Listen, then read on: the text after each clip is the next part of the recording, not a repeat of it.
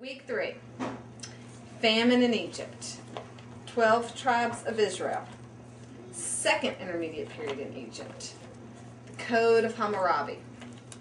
Hyksos invasion of Egypt. Early New Kingdom in Egypt. Moses' birth. The plagues in Egypt.